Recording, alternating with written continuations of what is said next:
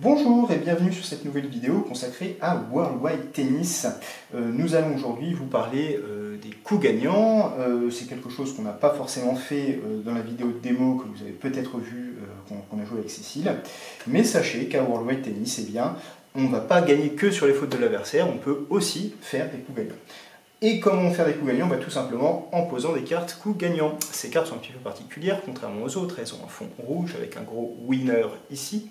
Euh, mais elles sont pas si faciles que ça à réaliser puisque leur difficulté est de 12. Et puis elles ont un autre défaut, c'est qu'elles ne vous font pas repiocher. Donc euh, ils ont une icône de pioche de 0. Euh, donc si vous ne jouez que des coups gagnants, bah, votre main va très vite diminuer et vous allez vous retrouver en difficulté. Donc ce sera à vous de voir à quel moment les jouer pour ce soit le plus opportun. Alors ça, c'est une carte euh, classique. Il y a une autre carte coup gagnant, en fait, qui fait partie de votre main de départ, hein. il y a l'icône raquette ici, et qui va, euh, avec la petite icône de recyclage, revenir systématiquement dans votre main, euh, si vous la jouez, à la fin vous ne la défaussez pas, elle revient dans votre main. Et celle-là, en fait, vous allez pouvoir la jouer à tous les points, mais elle a une difficulté de 22, sauf qu'à ce 22, vous allez pouvoir soustraire la difficulté de tous les coups que vous aviez joué avant. Je vais donner un exemple, ça sera beaucoup plus simple.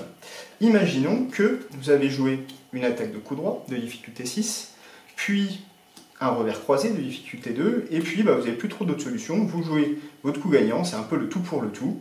Sa difficulté à ce coup sera de 22, moins 2, 20, moins 6, 14. Et à cela, on rajoutera éventuellement le malus de l'adversaire s'il a joué un coup qui vous met en difficulté.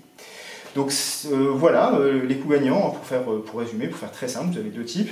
Les cartes normales, qui vont permettre de faire des coups de des revers gagnants de difficulté 12. Et puis cette carte-là, générique, qui peut avoir une difficulté assez élevée, mais qui peut aussi vous permettre de, gagner des points qui, en apparence, sont plutôt mal engagés. Voilà, bah, je vous dis à très bientôt pour une nouvelle vidéo consacrée à World Wide Tennis.